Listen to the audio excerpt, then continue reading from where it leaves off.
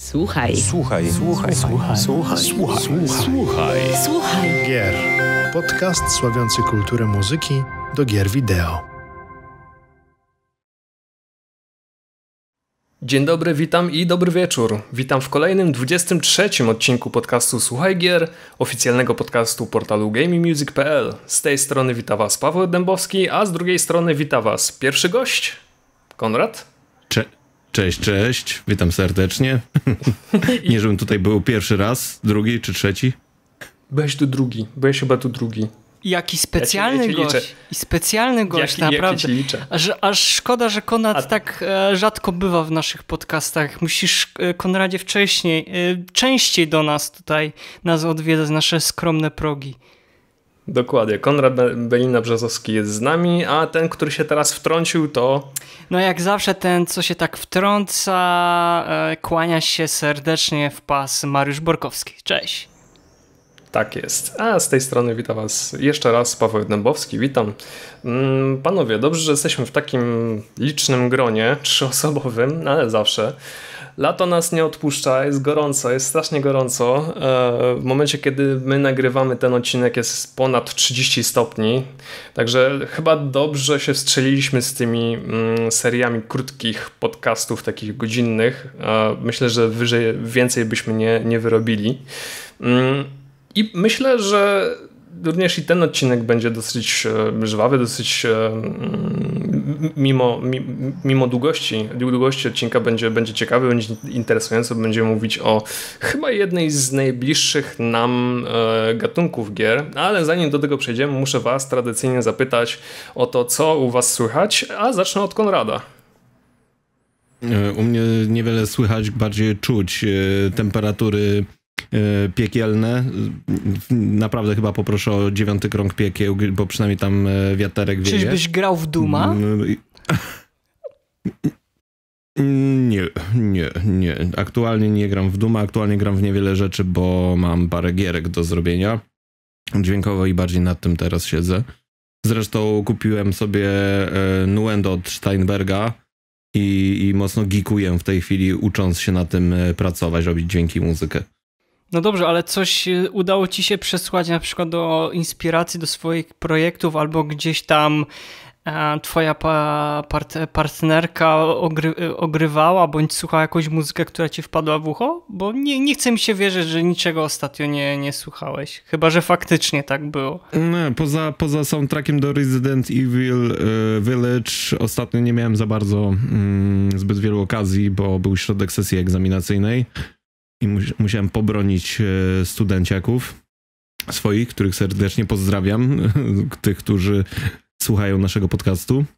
Także no to ja teraz, że tak powiem, wychodzę z tego gorącego okresu, e, hehe, pan not intended, i, i z powrotem zaczynam szukać e, czasu w swojej dobówce na, na ogrywanie czegoś, słuchanie nowych rzeczy. Koniecznie.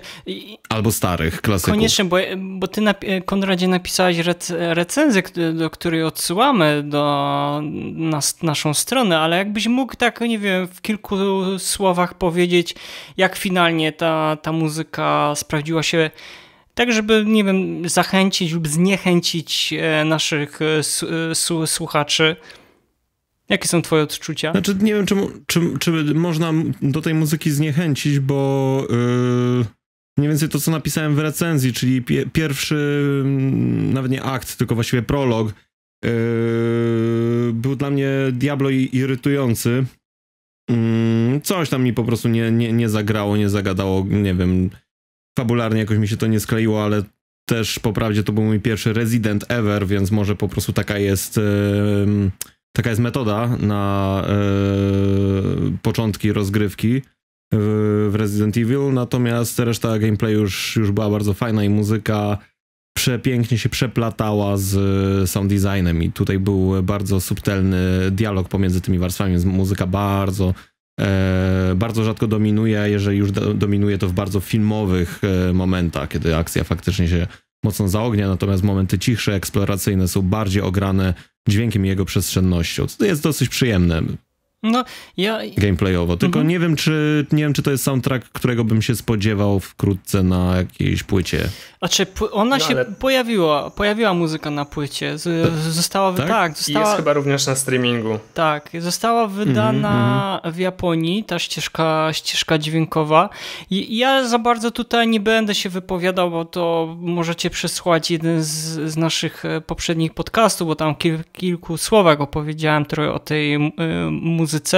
Ja osobiście wolę jednak chyba z tych nowych odsłon e, Resident Evil, no to jednak muzykę z tej siódmej, siódmej części, um, czyli to jest jakby ten prekursor tego, co się dzieje w, w, w ósmej. Sądzę, że tam za dużo takich, e, nie wiem, jakieś tak, za bardzo przekombinowana jest momentami ta muzyka, ale ja to bardziej mówię z perspektywy osoby słuchającej niż grającej, tak więc tutaj e, nie będę się za bardzo mm, rozwodził. Tak więc fajnie, dzięki Konrad, że się podzieliłeś. No to jest tak, to jest zupełnie inna perspektywa. Konrad, tak czy inaczej trzymamy kciuki, żeby ten gorący okres e, już się skończył i żebyś miał więcej czasu na mm, tworzenie gier, czyli na więcej twórczych rzeczy. Um, hmm, dzięki. Mario, tak, tak. to teraz życzymy tego sobie nam tak, wszystkim. Tak, tak. Wakacje Mario, teraz twoja kolej.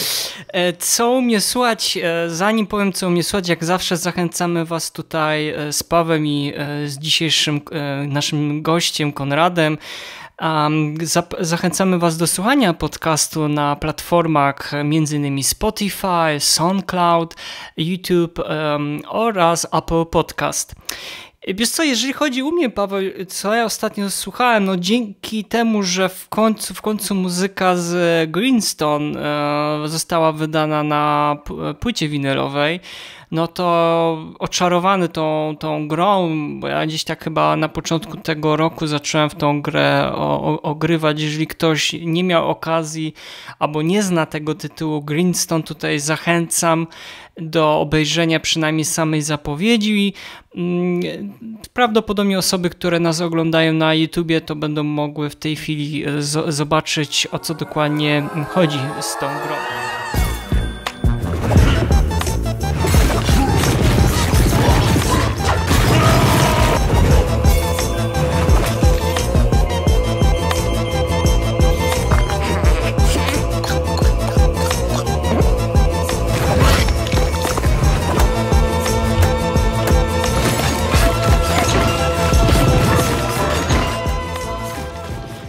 Natomiast jeżeli chodzi o Greenstone, no to jest taka, wiesz, prosta w mechanice gra przygodowa, no z elementami powiedzmy takich logicznych, które puzli. E, która no wiesz, rozgrywka polega na wyżynaniu w pień napotkanych na swojej drodze, tutaj tak mogę powiedzieć, kolorowych stworków i tutaj w, w rytmie grubych, wysmakowanych elektronicznych bitów autorstwa właśnie sama, mm, sama Webstera.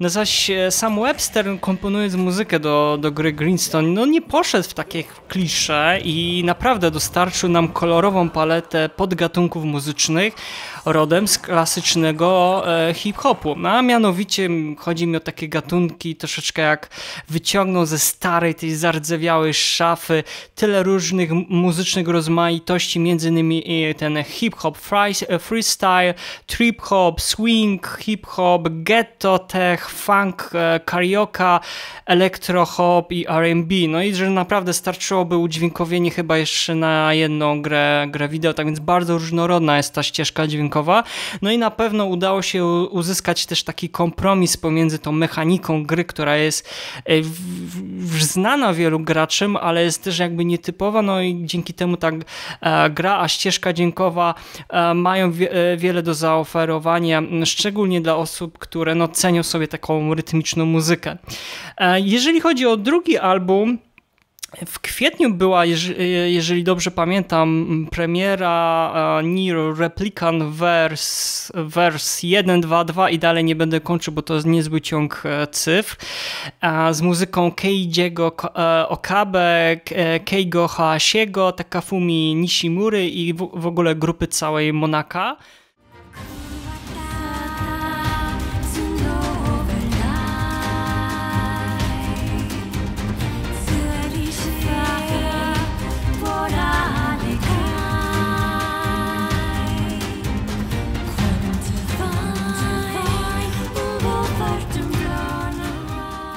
No i co ja mogę powiedzieć? No po, po, po 11 latach Square Enix wypuszcza nieoszlifowany diament z gatunku japońskich RPGów, który na popularności gry Nier Automata no, ma teraz szansę trafić do większej widowni, bo jak może zapamiętasz Pawle, ta gra średnio chyba została... Mm, może nie tyle co przyjęta przez recenzentów, ale słabo się znaczy nie została zauważona. Nie została zauważona, to chyba się wydaje, że to jest e, ten sam problem, co było z e, Aiko, że wszyscy wiedzieli, co to jest za gra, że e, uważali za świetny kunszt jakby całego procesu produkcji, no ale no niestety nie została zauważona, jak tutaj e, słusznie zauważyłeś. No a jak sama muzyka do, do tego remake'u, no sama ścieżka dźwiękowa no również doczekała się nowych aranżacji, a większy budżet na tą oprawę dźwiękową, tak sądzę, dał większe możliwości, o której wcześniej, o których wcześniej zespół Keiji'ego Akabe mógł tylko naprawdę marzyć. No, czy finalnie muzyka na tym zyskała? Mm, Cóż, no, oba albumy mam w swojej kolekcji, jak zarówno tą wersję oryginalną i tą wersję odświeżoną, jak i zresztą pozostałe koncepcyjne albumy, ale sądzę niestety mimo tego odświeżenia brzmienia osobiście jestem lekko zawiedziony. No, nie miałem, nie miałem żadnych oczekiwań wobec tych nowych aranżacji, to jednak e, mam takie mm, wrażenie, że te niektóre kompozycje zostały skierowane w złą stronę. I chodzi ich brzmienie, nie wiem, może wydawać się troszeczkę takie pełniejsze, wzbogacone o instrumentarium i to brzmi pełniej i dostojniej, to czuję taki dysonans względem oryginału. I jednak pozostaje wierny tej pierwszej, pierwszej oryginalnej wersji tej gry. Um, tyle tak to wyglądało, jeżeli chodzi o ostatnio to, co udało mi się y, posłuchać. A u ciebie, Pawle? No to gruba, gruba recenzja z twojej strony. Jeśli chodzi o mnie, no to mam ten sam chyba problem co Konrad, czyli też mam taki mm, dosyć gorący okres e, w swojej pracy, ale także poza pracą mm, staram się, no cóż, nie leżeć tylko do góry brzuchem, nic nie robić, staram się robić mnóstwo, mnóstwo innych rzeczy, żeby nie zardzewieć. Jedną z nich jest e, tworzenie gier. E, przyznaję się do tego bez bicia. Widziałem rysunki. Nie jestem grafikiem. Widziałem ale rysunki. Nie, te, te, rysunki, te, rysunki, te rysunki to ja sobie robię tak e, po godzinach na zasadzie, a coś sobie skromne i wstawię na, na Face'a, niech, niech polubi, niech polajkują. A, ale jeśli chodzi o tworzenie gier, no to powiem to tak, ani nie znam się na grafice, na muzyce jeszcze nie, ale też coś ćwiczę. Mm, na programowaniu również się za bardzo nie, zna, nie znam ale mimo wszystko, e, nie wiem, coś próbuję działać, coś próbuję się mm, bawić z różnymi najprzeróżniejszymi programami e, i nie wiem dlaczego, ale cały czas ładuję się w, ten, w to samo bagno, które się nazywa Game Jam, e, żeby się tam pokazać i mm, no cóż, zaprezentować się, jak bardzo nie znam się na tworzeniu, na tworzeniu Paweł, gier. jak tak dalej będzie, to wyrośnie nam drugi Sataru Iwata. Mmm, Satoru, tak, drugi polski Hideo Kojima, jasne, oczywiście. Nie, ale y, tak serio, serio e, mówiąc, robię sobie cały czas research, e, jeśli chodzi o mm, gry indie, e, nie tylko pod kątem muzycznym, ale również gameplayowym, game designerskim przede wszystkim, bo może nie wszyscy wiedzą, ale chciałbym kiedyś się pobawić w game designera i czytam dużo fachowej lektury. No i chyba to, co jest moją zaletą, jeśli tak to mogę nazwać, jest to, że bardzo dużo gram w gry i staram się tego nie opuszczać mimo wszystko żeby się nie cofać w rozwoju. Bo ponoć ludzie, którzy grają dużo w gry, e, no, mają większe szanse na zostanie game designerami. No, trzymam za słowo. Może kiedyś mi się uda, zobaczymy. Może te game jamy coś mi w końcu dadzą. Ale jeśli chodzi o muzykę, to tak jak mówię, w tym gorącym okresie. Mm, raczej e, staram się nie być ani niewybredny, ani nie, nie, nie próbuję słuchać czegoś konkretnego. Raczej słucham czegoś, co leci w tle i nie zbija mnie z tropu podczas, podczas pracy, podczas pisania tekstów e, czy, czy, czy, czy, czy czegoś innego. I przez przypadek natrafiłem na taki zespół mm, z Melbourne, z Australii, Armlock, który wypuścił swój debiutancki album Trust. Just when we were the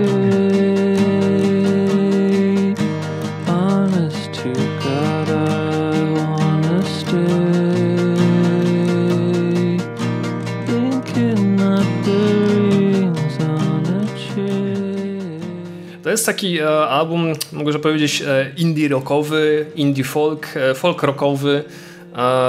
bardzo nie chcę powiedzieć specyficzne, ale przypomniało mi się właśnie takie zespoły jak The Daughter, który był wielokrotnie wspominany, czy to na podcaście, czy u nas na, na streamach. Album dosyć nietypowy, ponieważ panowie mm, spotkali się w 2016-17 roku zaczęli nagrywać wspólnie melodie, po jakimś roku, dwóch znaleźć dekściarza i tak bardzo, bardzo powoli ten album powstawał i w końcu w 2001, 2021 roku udało mi się mm, ten album wydać. Każdy z tych utworów to jest taka ballada mm, czy jak oni to powiedzieli, dokumentacja ich progresji i regresji. Czyli to, w jaki sposób oni e, dążyli do tego, żeby te utwory powstały w ogóle, żeby ten cały album powstał. Bardzo, bardzo spokojna melodia, bardzo taka mm, troszkę balladowa, mogę powiedzieć. E, myślę, że jest warte, mm, warte przesłuchania. To jest 7 utworów, 7 krótkich utworów, mm, przy czym jeden liczy sobie chyba jakieś 30 sekund. Myślę, że warto zwrócić na nich uwagę.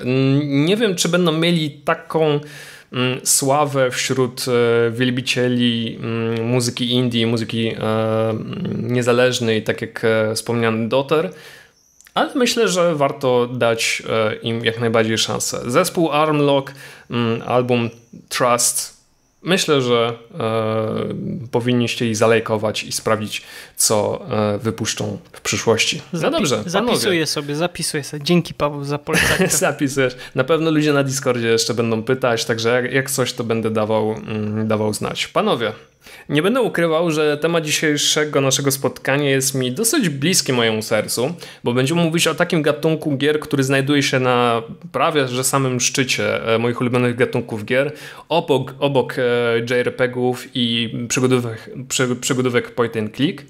Mianowicie będziemy rozmawiać o grach strategicznych, I szeroko muzyce, pojętych. I o muzyce. O muzyce, o muzyce do nich, e, o muzyce do gier strategicznych szeroko pojętych, bo tak jak e, wiedzą nasi słuchacze, nasi czytelnicy, mm, no, gry strategiczne jako tako mm, to jest bardzo ogólny gatunek, bardzo ogólny gatunek, e, z którego wyrastają mnóstwo, całe mnóstwo odnóg.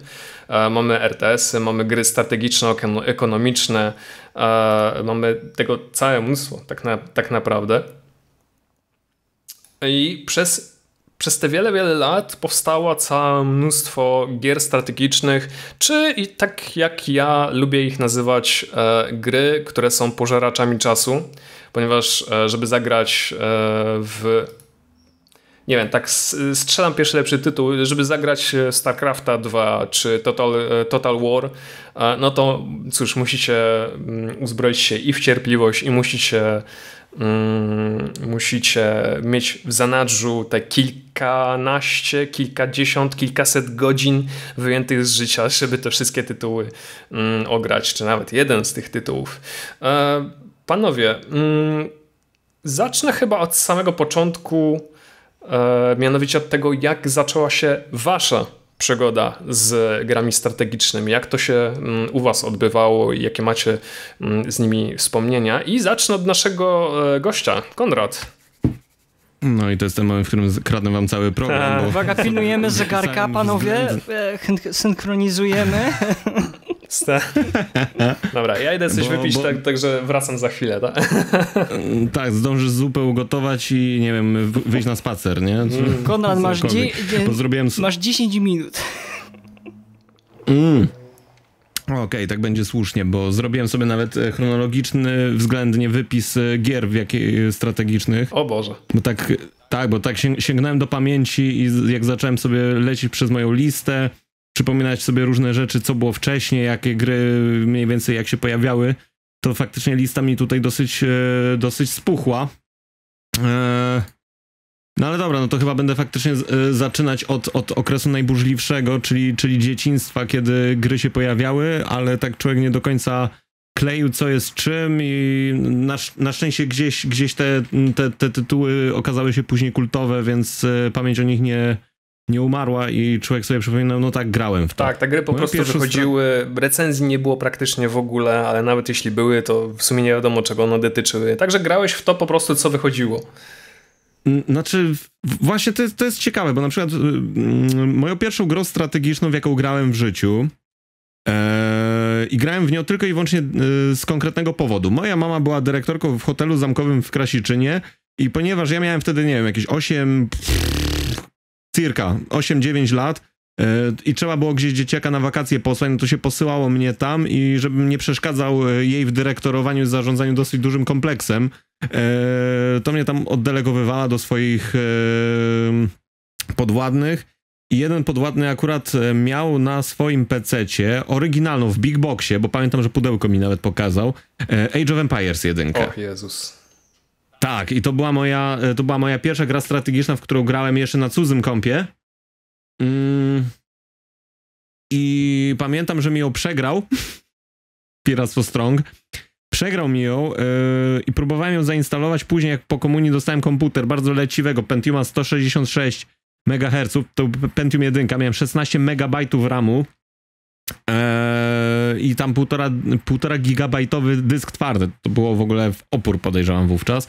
Y, I się okazało, że podczas instalacji wyskakiwał błąd, y, mniej więcej gdzieś tam na chyba 50 albo 70%, bo wtedy instalka sprawdzała, czy mam kartę dźwiękową, a ja nie miałem karty dźwiękowej. Więc nie mogłem sobie pograć w Age of Empires. Więc moją kolejną grą yy, były Heroes trójka, E, no to tutaj przedstawiać nie trzeba raczej nikomu, tak, bo, bo gierka absolutnie kultowa do dzisiaj, mamy mistrzostwa.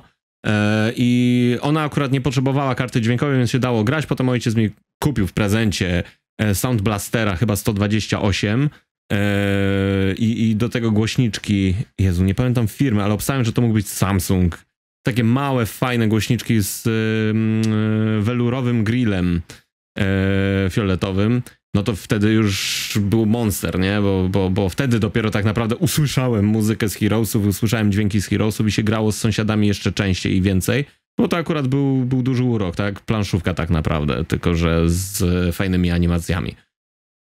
A, dobra, ile minut minęło? Dwie minuty, dobra, no to mamy dobry czas. Ehm, później, później wskoczyły Heroesy dwójka, bo kuzyn miał Heroesy dwójkę i, i, i e, graliśmy na zmianę, w trójkę na zmianę w dwójkę. Później któryś z sąsiadów sobie ogarnął pirata e, e, Red Alerta, to pamiętam. Jeszcze to był ten czas, kiedy ludzie modyfikowali Red Alerta, żeby na, żeby móc zoomować. Jeszcze wtedy nie było scrolli w e, tym, w myszkach, bo myszki były tylko i wyłącznie dwuklawiszowe albo trzyklawiszowe, gdzie trzeci klawisz nikt nigdy nie używał.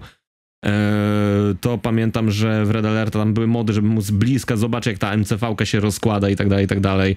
No gierka była Cox, ale się grało tylko i wyłącznie singlowo, bo nikt jeszcze wtedy nie myślał o, o tym, żeby jakąś kartę sieciową montować w e, komputerze, żeby grać, grać po kablu.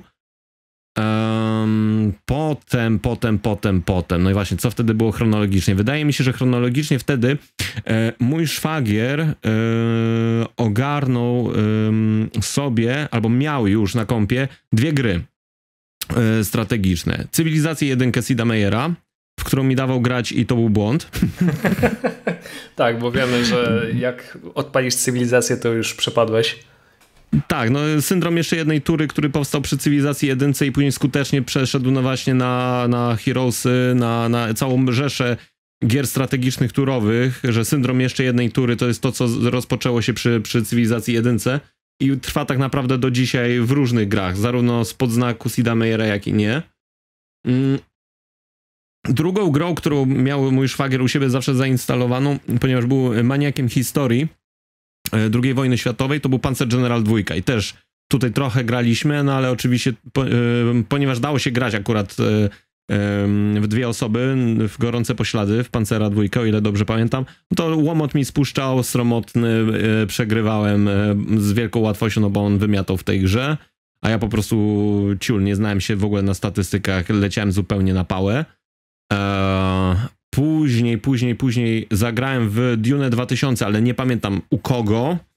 I pamiętam, że mi się bardzo podobała, jeszcze wtedy w ogóle nie kleiłem, że to jest na podstawie, że to w ogóle nie skleiłem, że to jest stworzone przez ludzi, którzy zrobili e, Red Alerta, czyli przez Westwooda. E, I nie skleiłem, że to jest na podstawie książek e, Franka Herberta. Dopiero, dopiero dużo, dużo później się zorientowałem, że te wszystkie czerwie i tak dalej to jest, to, to jest przecież to samo uniwersum, co w książkach. A potem chronologicznie Potem ja miałem taką zajawkę, że na moim kompie mało co chodziło, bo ojciec nie za bardzo chciał inwestować w lepszy komputer, więc się e, zaczęło, wiesz, jak już gier zabrakło, bo nowe gry już nie chodziły, to trzeba było zacząć kombinować. Pamiętam, że jedną z ostatnich gier, która mi w miarę płynnie chodziła, to był Faraon i Kleopatra. Och. Absolutny klasyk. Tak, klasyk. Tu, palicho, że muzyka w ogóle się nie wiąże jakkolwiek z e, regionem, ale, ale udało się jakoś uzyskać ten klimat. Tak, to akurat e... pamiętam, że muzyka w ogóle nie pasowała w zasadzie do niczego, ale to nie przeszkadzało w niczym tak naprawdę. Znaczy to nie była muzyka z regionu, ale to była muzyka, która próbowała jakoś tam bliski wschód w miarę, w miarę skutecznie i, i myśmy to łykali. Zresztą, no kurczę, zajebista gierka. Wszyscy w to grali, bo budowanie miast to też jest, to też jest coś fajnego, a nie tak jak dotychczas, no tam Age of Empires, no to budujesz cywilizację, cywilizację budujesz cywilizację, Duna budujesz bazę, Heroesy budujesz armię, prawda, tutaj nagle wchodzi Faraon i nie masz, nie masz e, rozpierdółki, jeszcze Red Alert, tak, no Hell's March, prawda, e, natomiast w Faraonie nagle nie masz walki, nie? Jedyna walka jaka jest to z ekonomią wewnętrzną i, i, i to było super. Jeszcze taka, cieka pamiętam, cieka mocno taka ciekawostka, konesorze ci wejdę słowo, ale w tym roku, mm -hmm. albo bodajże w przyszłym roku ma remaster, nowy, znaczy remaster, remake pojawić tak, się Tak, tak, tak, nowa, nowa era, jakoś tak to -hmm. się ma nazywać, mhm. New, New Era albo New Age. E, tak, i w tym samym czasie jeszcze grałem w Anno 1602. Tak. Czyli pierwszą, pierwszą gierkę z serii, jeszcze robioną przez Niemców. Nie wiem, czy do dzisiaj oni robią, bo to chyba Blue Byte był. Tak. Ale nie dam sobie ręki obciąć. I pamiętam, że jeszcze StarCraft wtedy wjechał. No to StarCraft wiadomo, masochizm, yy, bo, bo po singlu ja w ogóle nie ogarniałem kampanii, była zbyt trudna, bo była full po angielsku, nie chciało mi się grać z. Um, jak to się nazywa? Z. Yy, translatorem żadnym, więc, e, więc po prostu próbowałem grać e, multiplayerowe mapy z botami, oczywiście ginąłem, jak mi się kiedyś udało zagrać z kimś e, w online, to też, znaczy Polanie, to też ginąłem, więc po prostu lubiłem StarCrafta dla samego uniwersum. Zresztą do dzisiaj uważam, że jest to jeden z lepiej napisanych singleplayerowych tytułów, jeżeli chodzi o strategię, bo faktycznie no, fabuła jest tutaj najważniejsza.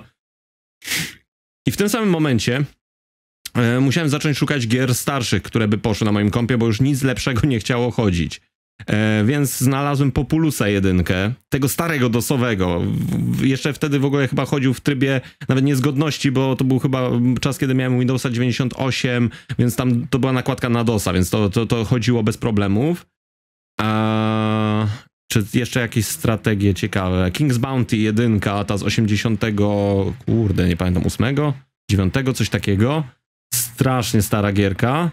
Eee, potem, potem trafiłem na Roller Coaster Tycoon, no to oczywiście tutaj godzin straciłem całe mnóstwo. I to był ten tygiel yy, przed upgrade'em, gdzie siedziałem w tych samych grach non-stop, zresztą po upgrade'zie i tak te gry zostawały na dysku jak było miejsce.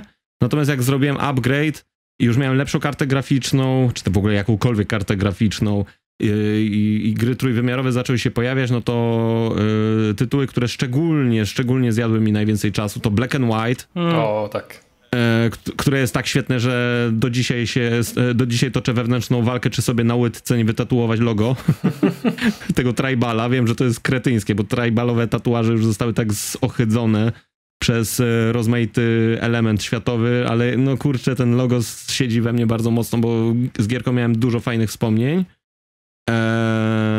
Później Warhammer 40 tysięcy Dawn of War 1 i wszystkie dodatki do niego, nawet ten psujący Soulstorm. E, zresztą gra, która do dzisiaj jest na scenie moderskiej mocno rozwijana. Jest absolutnie genialna. E, mniej więcej w tym samym czasie, bodajże w CD Actionie był dany w prezencie pierwszy Homeworld, e, więc go próbowałem wtedy ograć, ale też ponownie angielski był troszkę zbyt dużo barierą dla mnie w tamtym momencie, więc I, I, też sterowanie było strasznie leciwe, więc sobie dałem z nim spokój. I było CNC Generals, czyli chyba ostatni dobry Command Conquer, bo już Red Alert trójka mi tak nie siedział e, jak Command Conquer e, Generals. I do Homeworlda wróciłem jakieś 2-3 lata temu, jak remaster był chyba rozdawany, czy, czy był na jakiejś promocji. Stwierdziłem, dobra, kupię, zagram, spróbuję i się okazało, wow, po, po remasterze, po poprawieniu sterowania, tak żeby było bardziej intuicyjne wedle dzisiejszych standardów, czyli sterowanie kamerą pod wsadem, myszka i tak dalej, scrolle, wszystko, wszystko, nagle się okazało, że ta gierka jest absolutnie kosmicznie dobra, tak, a nie zmieniono nic poza sterowaniem i poprawieniem silnika, żeby parę efektów wyglądało ładniej i to jest wszystko. No i ostatnia gra, która mi tak naprawdę się bardzo mocno w głowie zatrzymała i uważam, że ją tutaj warto wymieniać jednym duszkiem z, z tymi grami, które sprzed lat, to polski Frostpunk. Po prostu wydaje mi się, że tak jak jest masa strategii, świetnych strategii, takich jak Planet Coaster, y, który robi świetnie to, co Rolling Coaster, Roller Coaster Tycoon robił lata temu, czy mm, City Skylines, który jest świetnym y, substytutem SimCity. Yy, czy, czy, czy inne tego typu gry. Tak, Frostpunk jest jedynym tytułem, który wprowadził bardzo dużo nowego do, do koncepcji gry strategicznej, według mnie w ostatnich latach przynajmniej. No to jest taki tytuł, który no, w zasadzie jest trudny, będzie bardzo trudny do podrobienia naprawdę. Ekipa z Eleven Beat Studio zrobiła naprawdę kawał porządnej roboty e, i udało im się wpleść naprawdę trudne tematy, podobnie jak to było z mm, This War of Mine. This War of Mine, dokładnie. Udało mi się wpleść hmm. trudne tematy w taki gatunek, który, którym jest gra, gra strategiczna. To jest coś niesamowitego. Konrad, Jesus Christ. Jak dobrze na, mieć takiego człowieka. Jak dobrze mieć takiego człowieka. Nie, zmieściłem się. Zmieściłem tak, się. gratulacje. Się. Tutaj będą, fakt. tutaj wmontujemy gratulacje, oklaski Konradzie. To jest akurat fakt. Tak. Naprawdę świetna chronologia i troszkę mnie zastydziłeś, bo tak jak e, patrzę, jak, jak ja sięgałem e, pamięcią, jak u mnie powstawał jeden wielki hałas, jak próbowałem sobie przypomnieć, w które tytuły ja grałem, a w które ja nie grałem, no to tu jest dramat, więc tutaj szapoba, że ci się to udało i jeszcze to zapisałeś i to w taki sposób przedstawiłeś. Ale zanim przejdziemy do mnie, to jeszcze e, zwrócę się do Mariusza. Jak to u ciebie było z grami ja, strategicznymi? Ja się cieszę, bo ja by, bo krótko i zwięźle powiem, ale ja bym chciał jeszcze się ciebie, Konradzie, zapytać, dać ci jeszcze te, te dwie minuty, ale z tych wszystkich gier, ja wiem, że będziemy później mówić jeszcze o, mu o muzyce, ale wy, wypada mhm. wypadałoby też troszeczkę powiedzieć jakieś takie wcięcie tutaj z tych wszystkich gier, o których tutaj powiedziałeś, to które, e, a czy ja się już domyślam, które, ale jakbyś powiedział może naszym e, słuchaczom, słuchaczkom i też widzą, które z tych gier najbardziej zapamiętałeś ze względu na, na muzykę? Ze względu na muzykę. Nie będę już pytał dlaczego, ale bo to by, bo byśmy potrzebowali kolejnych 10 minut, ale na przykład ze względu na godzin. Jasne. Tak, albo godzinę. Go, podcast godzinny z Konradem na temat gier strategicznych. Okej, okay, nie, jeżeli, jeżeli miałbym wybrać trzy soundtracki, w jakiejkolwiek chronologii je wy, u, ustawić soundtracki, które faktycznie y, wywarły na mnie największe wrażenie. Znaczy, o, i to o nich będziemy, tylko... o tych y, naszych topach będziemy mówić, wiesz, tak, tak, ale później pod koniec. No, także... ale z tych, z tych gier, które wymienił Kon, Paweł, Paweł mm -hmm, Konradowi jasne, chodziło. Jasne, jasne, jasne. Okej, okay, to, to top zostawię na top, natomiast właściwie wszystkie, łatwiej mi wymienić, które z tych gier nie zrobiły na mnie wrażenia muzycznego.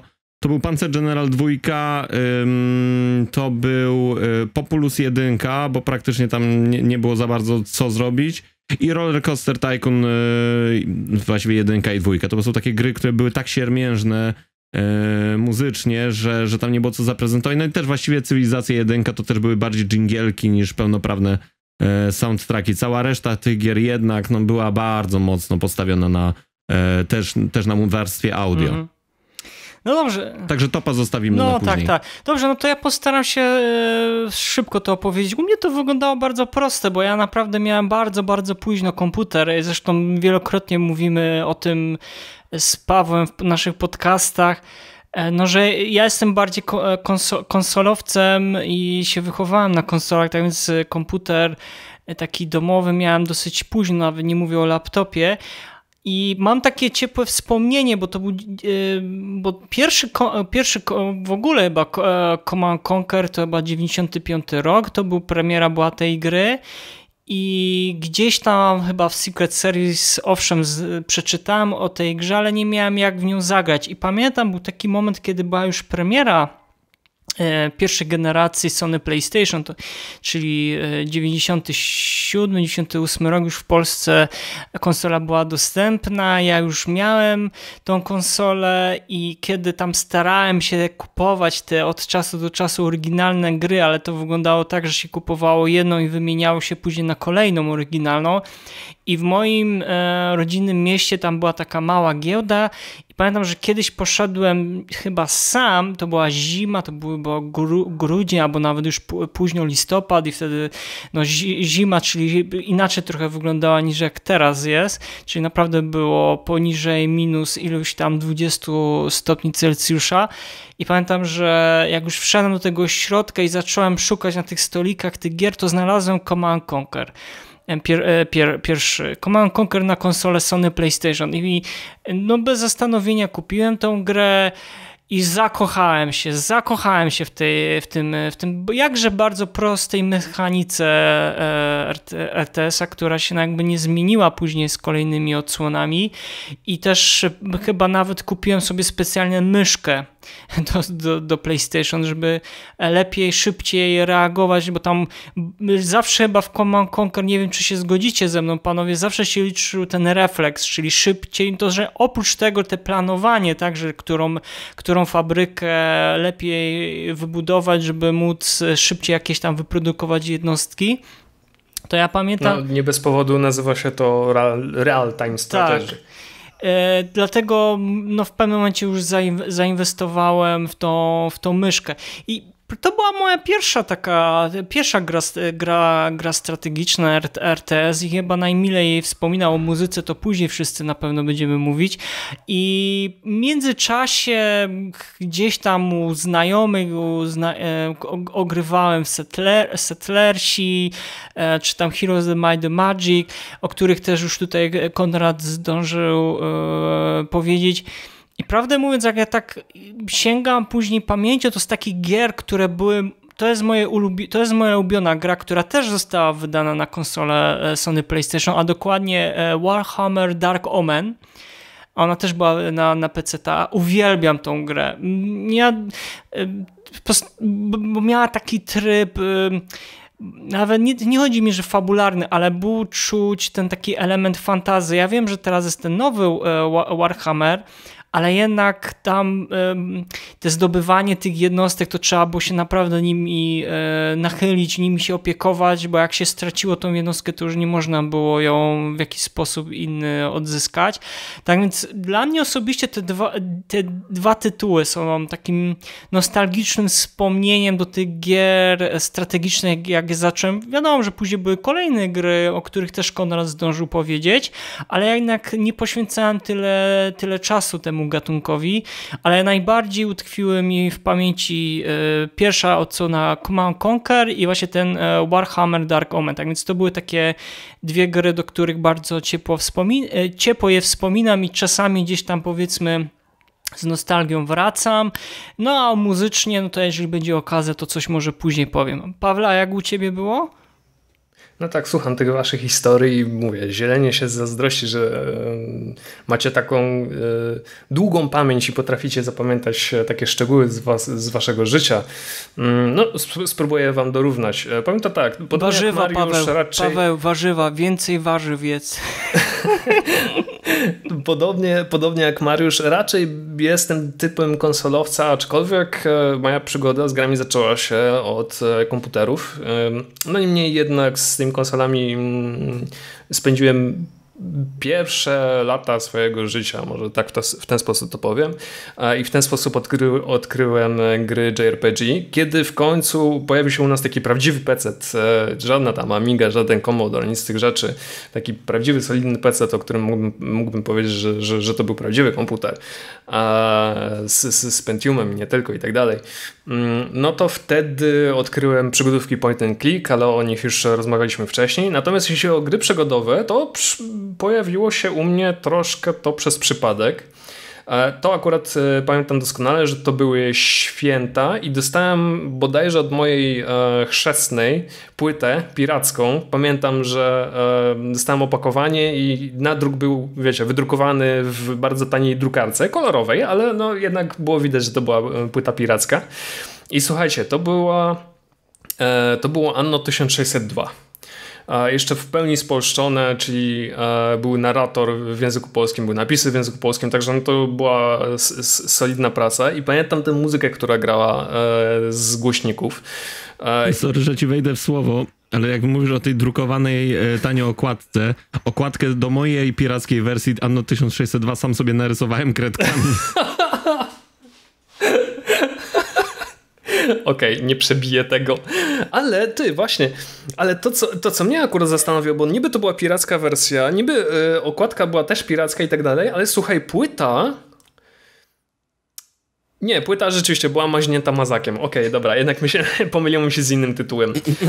Wracając, wracając do muzyki, ja zapamiętałem grę z dwóch powodów. Po pierwsze oprawa graficzna, bo w moim przekonaniu wyglądała naprawdę e, przepięknie i fajnie było widzieć te wszystkie malutkie ludziki, które e, pędzą po tych wybudowanych przeze mnie drogach, albo te wszystkie pola, e, nie wiem, pszenicy, które nagle więdły i nie wiedziałem dlaczego. Dopiero później się nauczyłem, że chodzi o żyźność gleby, jeśli chodzi o konkretne rośliny, mm, ale zapamiętałem też muzykę. E, takie wypełniona takimi angiels angielską pios angielskimi piosenkami ludowymi. I dopiero po wielu, wielu latach dowiedziałem się, że mój ulubiony utwór, e, czyli Green Sleeves, e, to był taki, no, tak jak powiedziałem, angielska piosenka, piosenka ludowa, której, która istnieje w rzeczywistości, która istnieje naprawdę, a jej e, pochodzi prawdopodobnie z drugiej połowy XVI wieku, Pirezy Drzwi. E, jego autorstwo przypisuje się mm, Henrykowi, jeśli dobrze pamiętam, Henrykowi VIII, e, który miał ją stworzyć dla Anny Boleyn, czyli, mm, czyli swojej późniejszej e, żony, no i oczywiście królowej Anglii, ale jak to było naprawdę, trudno powiedzieć. Tak czy inaczej, to był mój ulubiony utwór i pamiętam, że w tej grze była opcja mm, taka, że można było e, ustawić sobie, jakie jakie utwory mają być e, grane w twojej grze. Więc ten, e, ten, ta melodia leciała u mnie non-stop e, na okrągło przez całą rozgrywkę. A jak tak patrzę z perspektywy czasu, to tych później strategii pojawiło się u mnie coraz, coraz więcej. No cóż, może niekoniecznie, niekoniecznie w domu. Większość tych tytułów, o których wam opowiem, grałem również w kafejkach internetowych. Mm, jedną z nich było Age of Empires 2 i to akurat pamiętam doskonale, bo byłem na obozie, e, obozie sztuk walki. Znaczy to był taki obóz e, dla dzieci, ale połączony z obozem sztuk walki, bo mm, firmy, które prowadziły te obozy, no tak średnio przęgły, więc postanowili się ze sobą jak, w jakiś sposób pożenić. No jak dzieciaki jechały na obóz letni, no to jednocześnie miały zajęcia z, ze sztuk walki. No ja jak to ja nie lubiłem tych zajęć, więc co oczywiście e, próbowałem znaleźć, próbowałem znaleźć jakieś salony gier. Jeśli ich nie znajdowałem, to szedłem do kafejki internetowej i tak z kumplami e, codziennie przez no, 2-3 godziny siedzieliśmy w kafejkach, e, ogrywając głównie Age of Empires 2, czy nawet e, któryś z Warcraftów, który się tam pojawił, bodajże trójka, ale sobie głowy uciąć nie dam. E, pamiętam taką jedną sytuację, nie wiem czy my to nadamy, najwyżej Mariusz ty to e, wytniesz, Byliśmy kiedyś właśnie w kafejce i ogrywaliśmy Age of Empires 2 i tam godzina e, w kafejce kosztowała 2 zł. Miałem takiego kolegę, który miał dwuzetówkę wyłożoną na, e, na jak to się nazywa, na stole. I on tę dwuzłotówkę w którymś momencie wziął i po prostu wyszedł. On po prostu poszedł do toalety. I wrócił wkurzony, bo się okazało, że tej dwuzłotówki nie ma. I co się stało, słuchajcie? On trzymał cały czas tę dwuzłotówkę w toalecie. Trzymał ją cały czas w dłoni, nie wkładał jej do, do, kieszeni. Dlaczego nie wkładał do kieszeni? Po pierwsze on był dziwny, a po drugie tłumaczył nam, że w jego dłoniach jest e, bezpieczniejsze niż w kieszeni. Słuchajcie, jak był w tej toalecie, załatwiał swoje potrzeby, w którymś momencie e, zapatrzył się na coś, wrzucił tę dwuzłotówkę do kibla, e, roz, zapiął rozporek i zorientował się, że nie ma dwuzłotówki w ręku. Więc e, w ten sposób jego siedzenie w kafejce skróciło się o całą godzinę. Może zabawne, może nie, Mariusz, ty zdecydujesz, czy to wstawić. Nie, a w tym nie? momencie te, Mnie taki to... odgłos facepalma dam chyba, uwalnięcie w czoło, dosłownie. To jest, to, jest, to jest najwspanialsza, najfajniejsza, najfajniejsza historia stamtąd. No ale tak czy inaczej, tak jak mówię, większość czasu, większość e, strategii, w której ja grałem, mm, pojawiała się w kafejkach. Wspomniałem właśnie Age of Empires czy Warcraft. Mm, ale w moim domu pojawiło, zaczęły pojawiać się kolejne, kolejne tytuły. E, na przykład, i tu i zdziwiłem się, że ten tytuł nie został przez, przez Was e, w żaden sposób wymieniony. Chodzi o Wormsy. Mimo wszystko jest to strategia i się dziwię, że e, tego tytułu nie wymieniliście, no ale nie winię was. Wormsy, e, każde kolejne części pojawiały się u mnie, mm, u mnie w, w domu, każde kolejne części Anno. Mm, oczywiście miałem swoje przygody z, kolejną, z kolejnymi częściami Age of Empires, z cywilizacją chyba dwójką miałem do czynienia w szkolnej, e, szkolnej pracowni, pracowni komputerowej, e, kiedy nam nauczyciel tłumaczył czym jest pulpit, czym jest myszka i tak dalej, no to my zajmowaliśmy się ogrywaniem Cywilizacji 2. Mm, później pojawiały się kolejne tytuły.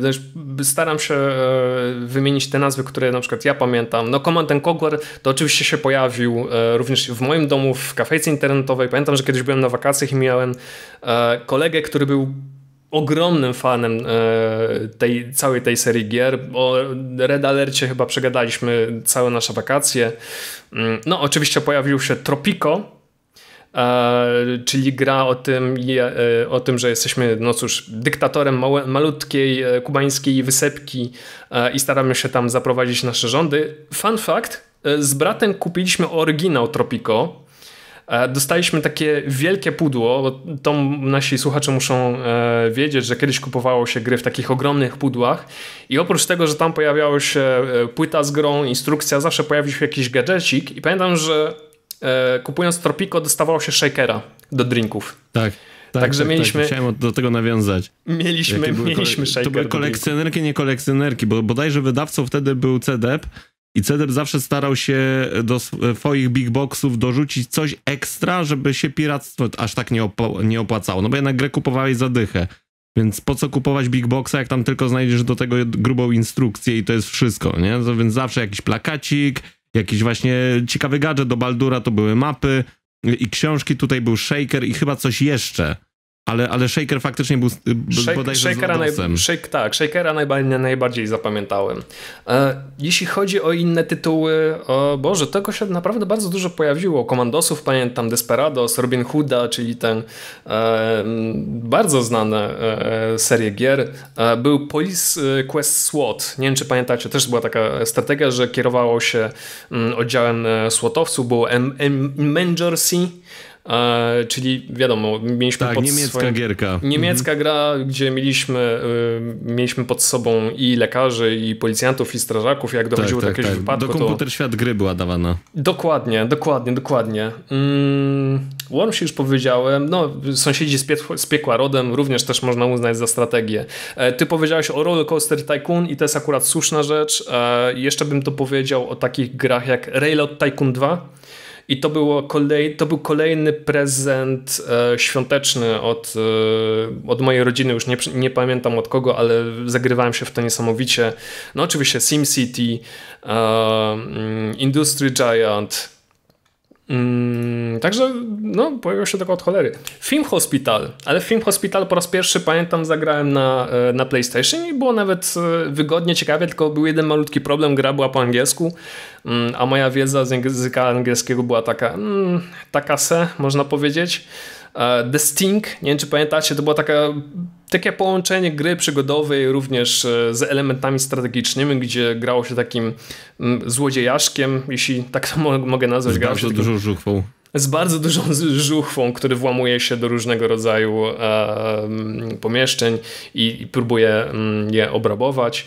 E, dużo takich klasycznych e, strategii pojawiło się w takiej serii Ekstra Klasyka Boże, czy ona była CD Projektu, czy Cenigi? Ja już nie pamiętam. Chyba CD Projektu, prawda? Chyba CD-pu. Chyba Wydaje CD-pu. Mi się, że CD-pu, bo oni Baldura e, wrzucali w tak, tak, tak. i nawet Warcraft 2 był też Dokładnie, był, War, był Warcraft 2, były, byli Settlersi. E, mm-hmm. Była również taka gra jak Ghostmasters, czyli mm-hmm. byliśmy, czyli byliśmy e, jak się nazywał ten stwór? Już nie pamiętam, ale pamiętam, że e, miasteczko nazywało się Grobową i byliśmy takim no, tytułowym Ghostmasterem, który e, no cóż, typowo, które duchy mają straszyć w jakiś sposób i tak dalej, więc no bardzo jajeczna gra, w pełni spolszczona. Niedawno oglądałem materiał o nim na e, ARHN EU i dowiedziałem się mm, wielu ciekawych rzeczy. No i również powtórzono to, co, czego również dowiedziałem się o tej grze, mianowicie to, że no, twórca na niej nie, za, nie zarobił, mimo że była i ciekawa, i innowacyjna. No, pojawiła się krótko po The Simsach, e, więc no, wprowadzała taki takie nowe elementy, które, które by się graczom przydały, no ale niestety gra się nie sprzedała mm, dobrze. Także no, patrząc na te listy gier strategicznych, było tego naprawdę od diabła. Ty tu wymieniłeś Frostpunka, ja mogę jeszcze z takich nowszych gier wymienić e, Wargroove, czyli taki... E, taki powie świeżości, no czy powie świeżości inaczej, e, taki duchowy spadkobierca po Advance Wars, z gry z Game Boy Advance'a. Mieliśmy Final Fantasy Tactics, mieliśmy Suikoden Tactics, czyli mm, japońskie, e, japońskie strategie. Mieliśmy The Banner Saga, który, od którego się troszkę odbiłem. To akurat muszę przyznać, że Banner Saga, te nordyckie klimaty jednak mnie nie, jednak no, nie, nie poruszyły. Myślałem, że coś z tego będzie, ale no jednak się nie udało. Metal e, Slug, Metal Slug o będzie Jezus, niebawem. Metal Slug. To, mam nadzieję, że tego nie zepsują. Dobra, ale Metal Slug to nie jest strategia. Ale będzie to strategia. Taka taktyczna, no, zobaczymy, no, zobaczymy, zobaczymy. Dokładnie, ale, ale Final Fantasy Tactics, no zobaczymy. E, jeszcze miałem taką... Faraon Kleopatra to jest jedna rzecz, ale jeszcze była e, Zeus i Poseidon.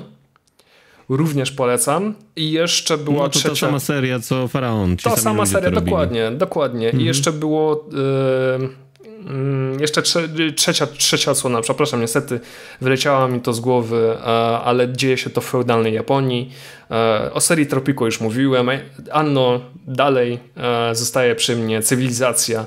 Także jak na gościa, który e, by powiedział, o którym byście powiedzieli, że strategie go nie ruszają, to jednak miałem tego e, bardzo dużo i nadal w nie pogrywam. Mam na przykład Europa Universalis 2, które ciepło, bardzo cieplutko wspominam i do dzisiaj gram w Europa Universalis 4, e, który uważam za najlepszą odsłonę.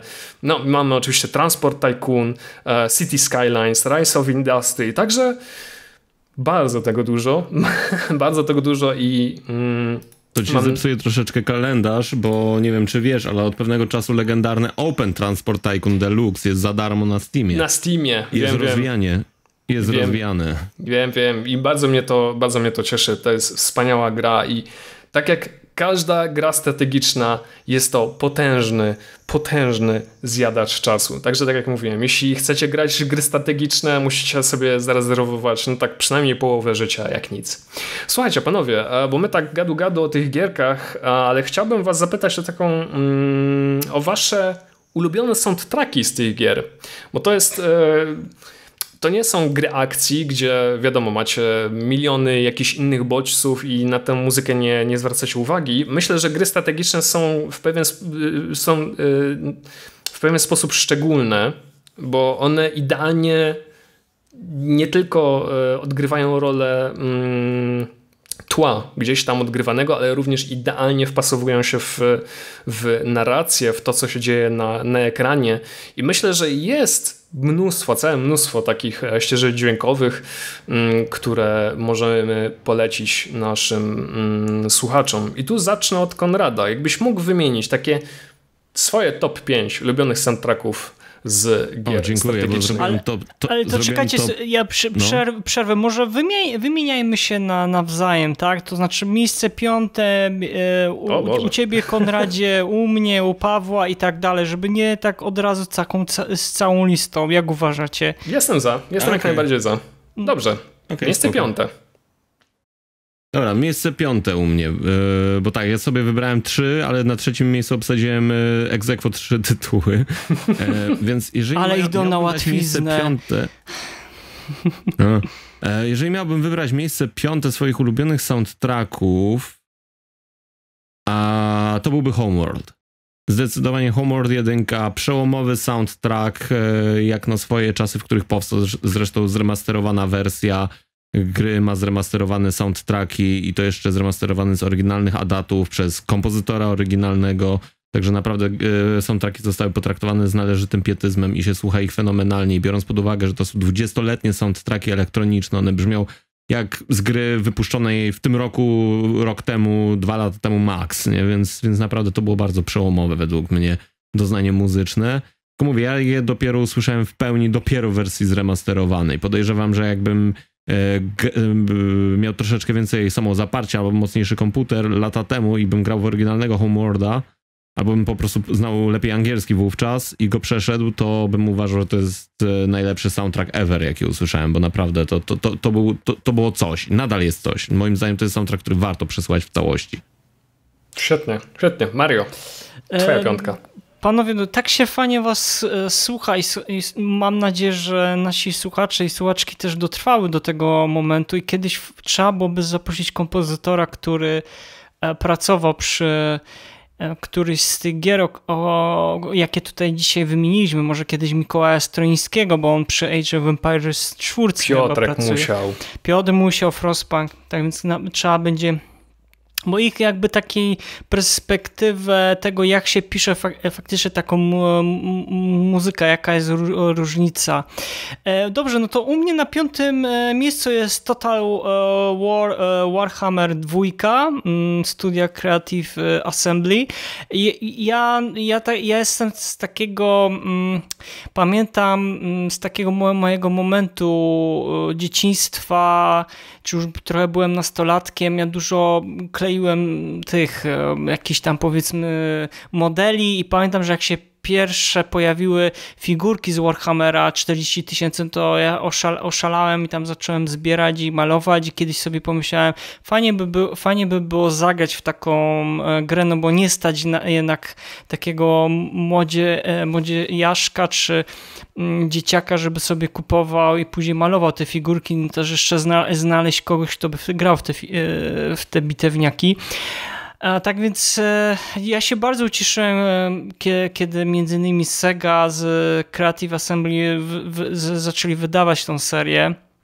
Warhammera Total War i pamiętam, że ta muzyka, ok, nie zrobiła na mnie jakiegoś piorunującego e, wrażenia, ale jakościowo i też w jaki sposób zostało mm, ujęte dźwiękowo, dźwiękowo ta ścieżka dźwiękowa i osadzona w samej grze. Ja nie mówię, że to zaraz są nawiązania do Władcy Pierścienia, ale są właśnie takie e, elementy takiego fantazy, takiego mrocznego momentami fantazy i gdzieś tam momentami jak grałem kampanię elfów, to utknęła e, gdzieś tam powiedzmy w pamięci e, ta, ta, ta muzyka. Aż wielka szkoda, że finalnie nie doczekaliśmy się żadnych oficjalnych specjalnych ścieżek dźwiękowych e, z tej, z tej gry, nawet, nawet na platformach streamingowych. Tak więc u mnie miejsce piąte Total War Warhammer 2, bo ta muzyka idealnie pasuje mm, do klimatu tej gry. A u ciebie, Pawle? No świetnie. No, powiem to tak. E, u mnie na miejscu piątym ląduje muzyka z japońskiej gry strategicznej i tak Wypadałoby wymienić e, w zasadzie Final Fantasy Tactics, e, który jest uważany za najlepszą e, grę strategiczną od Japończyków i cały czas trzymamy kciuki i liczymy na to, że Square Enix w końcu się pochyli nad fanami i wyda Tacticsa również na Switcha i na, w zasadzie na inne platformy. Myślę, że wszyscy gracze, którzy cenią sobie japońskie gry powinni w ten tytuł zagrać, ale zamiast tego Wymienię tutaj Final Fantasy Tactics Advance na Game Boy Advance, czyli e, Sekimoto Kihoshi, o, e, o Koshi e, Uematsu. Powiem to tak, z Final Fantasy Tactics Advance jest trochę jak z Final Fantasy IX. Czyli to jest taki tytuł, który jest najbliższy temu, czym ma czym miało być w założeniach Final Fantasy. Czyli fantastyka w 100% wydaniu, historia o mm, grupce dzieciaków, które nagle znajdują jakąś mm, książkę i wlatują do mm, magicznego świata pełnego stworów, e, magii, czarów, e, wróżek i nie tylko. I Final Fantasy Tactics e, Advance jest zdecydowanie, zdecydowanie cieplejsze melodie od e, zwykłego, zwykłego Tacticsa. E, cieplejsze, bardziej skoczne, mm, bardziej pasujące do charakteru Final, Final Fantasy. Myślę, że mm, Myślę, że każdy powinien zapoznać się z tym soundtrackiem. Szkoda, że nigdy nie, nie doczekała się mm, oficjalnego wydania. No, trudno. Mamy nadzieję, że kiedyś to się zmieni. Ale to tyle oficjalnego wydania? Czekaj, czekaj, czekaj, bo ci przerwę. Final Fantasy Tactics Advance. Y, ale wydania... Nie... Tak, został soundtrack wydany. Jest. Do Advance'a? Tak, jest. Mogę ci później wysłać zdjęcie, bo mam w kolekcji. Wiesz co... Wyszedł, wyszedł, wyszedł nawet. Nie lubię cię. Wyszedł nawet album, który się nazywa Wide Melodies. Są to aranżacje. E, Dlaczego z... ja o tym nie wiem? Pawle, Pawle. Dlaczego ja o tym To się wytnie. Nie, ja na przykład jestem strasznie wytnie. ogromnym fanem i powiem ci, że aż teraz żałuję, bo już teraz od razu mogę powiedzieć, że na mojej liście nie znalazł się żaden Final, Final Fantasy Tactics, bo troszeczkę inaczej podeszłem do tej listy jako takiej gier strategicznych, a też to, co powiedział wcześniej Konrad, że ja bym do końca, nie wiem, czy byłbym w stanie zaliczyć, zaliczyć to do tego gatunku, ale, ale powiedziałeś też na samym początku, że to jest pewien odłam, który wyszedł z tych gier e, strategicznych, tak więc jakby to się już zalicza. Natomiast na pewno jakby miał wybrać, to Tactic Advance się w 100% z tobą zgadzam. Dobra, no, takie no małe wcięcie. Wszyscy, wszyscy, wszyscy, się zgadzamy, wszyscy się zgadzamy, wszyscy się ze mnie pośmiali. E, no to teraz Kondrat, twój numer cztery. Mój numer cztery to będzie soundtrack ze StarCrafta jednak. Myślałem, czy by go nie dać wyżej, ale są inne gry, przy których więcej, więcej lat spędziłem grając. E, w porównaniu natomiast StarCraft no jednak zasługuje, bo dramaturgia i różnorodność soundtracku, w zależności od tego, którą rasą gramy, którą kampanię gramy, ma tutaj bardzo duże znaczenie. Y, mimo ograniczeń technologicznych i właściwie, co to był trzeci taki pełnoprawny, większy projekt y, Blizzarda, chyba że Los Vikingsów policzymy jako ich duże projekty, no ale tak naprawdę po Warcraftie drugim y, StarCraft był trzecim ich takim projektem, który już faktycznie budował markę Blizzarda i udało im się, mimo ograniczeń płyty CD, mimo ograniczeń technologii, w której wówczas pracowali, stworzyć bardzo filmowe doświadczenie w grze strategicznej, gdzie, gdzie fabuła jest naprawdę e, kunsztownie dopracowana i w odpowiedni sposób przerysowana, epicka i muzyka też to w fajny sposób e, podkręcała, tak? Wysoko, wysokie zaawansowanie cywilizacyjne protosów e, jako podniosłe, ale jednak elektroniczne brzmienia, lekko horrorowe barwy przy soundtracku Zergów, no i redneckowski, tutaj przepraszam wszystkich e, mieszkańców Teksasu i Alabamy, ale redneckowski e, rock and roll zakrawający na bluesa, taki, taką Amerykanę dosyć mocną w soundtracku do Terran, którzy zresztą też byli zawsze przedstawiani jako Teksańcy w kosmosie. Więc e, to, to, to e, urozmaicenie, zróżnicowanie soundtracku było um, mocno wkodowane w samą fabułę rozgrywki i było to świetnie wykonane moim zdaniem, jak na tamte czasy. Mhm. Jasne, jasne. No i StarCraft, sama gra, która e, mnóstwo, mnóstwo godzin, jeśli nie lat, e, samym graczom z Korei, którzy są mistrzami w tej w tej grze. To jest Mariusz, sport narodowy. To jest sport narodowy, tam specjalnie nawet e, internet został zluzowany, żeby, żeby mogli na spokojnie trenować. Mariusz. Mm, w dokumentach mają wpisane. E, dobrze, to bo cały czas mówimy też o takich ścieżkach dźwiękowych, które w naszym mniemaniu wyróżniają się pod kątem mm, tej muzyki, tak? Tak więc w moim przypadku, jeżeli chodzi o te miejsce czwarte, to jest Warcraft trójka Origin of Chaos. E, Derek Duke, Jason Hayes, Glenn Stafford i Tracy e, Bush. E, no ja pamiętam, ja bardzo słabo pamiętam muzykę z pierwszej i drugiej części. Nie wiem, czy tam w ogóle można powiedzieć, Konradzie, bo ty jesteś też fanem tych pierwszych chyba odsłon, czy trzech odsłon Warcrafta, bo ja kompletnie nie, pamię nie pamiętam tej muzyki, ja tylko pamiętam te bardzo pamiętne dialogi tych tak panie, albo jakichś innych um, śmiesznych um, cytatów tych postaci, ale trójka utknęła mi w pamięci chyba ze względu na te cinematic, na te, na te wstawki filmowe, gdzie naprawdę ta muzyka Ojeju, nawet nie chcę użyć słowa, że przebiła niejedne jakieś tam amerykańskie, ki, e, amerykańskie kino i też szczególnie te fantazy jeszcze zanim się po, pojawił Władca Pierścieni, tak naprawdę chyba E, przeorał ten gatunek, jeżeli chodzi o pisa e, pisanie i komponowanie muzyki. Tak więc sądzę, że Warcraft Trójka Origin of Chaos no, wprowadził bardzo dużo świeżości do samych gier pod kątem muzyki, do pod kątem tego gatunku fantazy e, w grach, a szczególnie tutaj właśnie wspomnianych wcześniej przeze mnie e, wstawkach e, filmowych. Tak więc u mnie miejsce trzecie, przepraszam, miejsce czwarte Warcraft Trójka Origin of Chaos. No ja się, jeśli o, o, moją, e, o, moją, o moje miejsce czwarte um, mocno zastanawiałem, bo myślałem, żeby tutaj wstawić którąś z, mm, z, z pierwszych części e, komandosów, mm, jedna z moich ulubionych strategii, nie będę, nie będę ukrywał, ale też jedna z najtrudniejszych. Jeśli ktoś kiedyś grał w pierwszą albo drugą część, no to wie o czym mówię. Mm, ale też myślałem o serii Desperados, która garściami czerpie z, z, z, z tych gier, z tej serii.